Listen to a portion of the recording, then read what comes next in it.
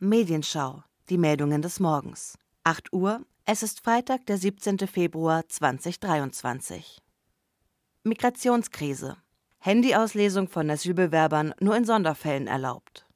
Das Bundesamt für Migration und Flüchtlinge darf nur in Sonderfällen digitale Datenträger von Asylbewerbern wie Handys auswerten. Das habe das Bundesverwaltungsgericht in Leipzig entschieden, berichtet die junge Freiheit. Geklagt hatte demnach eine afghanische Staatsangehörige, die 2019 in Deutschland einreiste. Bei ihrer Einreise hatte die Klägerin eine Heiratsurkunde und ein afghanisches Ausweisdokument ohne biometrische Daten vorgelegt. Da sie jedoch keinen gültigen Pass vorweisen konnte, forderte das Bundesamt die Asylbewerberin zur Herausgabe ihres Mobiltelefons auf. Nach kurzfristiger Auslesung und Datenspeicherung erhielt sie das Mobiltelefon zurück. Das Gericht habe festgestellt, dass dies eine rechtswidrige und unverhältnismäßige Aktion gewesen sei. Wokeness-Ideologie. Verfassungsänderung in Hamburg geplant. In der Präambel der hamburgischen Landesverfassung soll es künftig heißen, der Kampf gegen Rassismus und Antisemitismus sowie jede andere Form gruppenbezogener Menschenfeindlichkeit sei das Ziel der Stadt, so berichtet die junge Freiheit.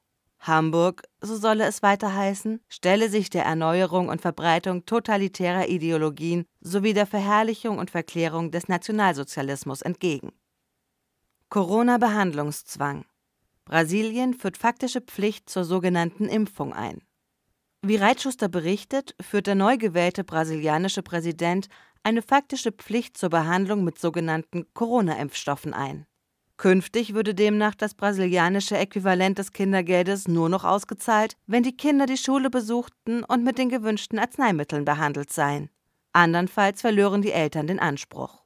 Bereits für den Zeitraum der Schwangerschaft sei die Teilnahme der Mutter an allen vorgegebenen Untersuchungen Vorbedingung für den Erhalt der staatlichen Leistungen. Angebliche UFO-Sichtungen. US-Präsident Biden widerruft Alarmmeldungen. Wie eine Vielzahl von Medien übereinstimmend berichtet, habe US-Präsident Biden eingeräumt, dass es sich bei den zuletzt von Medien gemeldeten Sichtungen unbekannter Flugobjekte höchstwahrscheinlich um private Forschungsgeräte handle. Von den ersten Ballons abgesehen seien sie auch nicht, wie zuerst behauptet, chinesische Spionagegeräte gewesen. Der Sprecher des Nationalen Sicherheitsrates der USA habe sich zuvor ähnlich geäußert. Die Hauptnachrichten des Staatsfernsehens berichteten gestern über den Beginn eines sogenannten Flüchtlingsgipfels der Bundesregierung. Erdbebenfolgen in der Türkei, ein Urteil des Bundesverfassungsgerichts zur automatisierten Datenanalyse durch die Polizei, ein Urteil des Bundesgerichts zum Lohnanspruch von Frauen gegenüber Männern, einen mutmaßlichen Hackerangriff auf deutschen Flughäfen, den Beginn des Straßenkarnevals, die Entlassung eines Ballettdirektors und den Auftakt der Berlinale. Keine der Meldungen dieser Medienschau fand in den Staatsnachrichten Erwähnung. Das war die Medienschau. Die Redaktion hatte Paul Brandenburg. Sprecher war Johanna Ehrlich.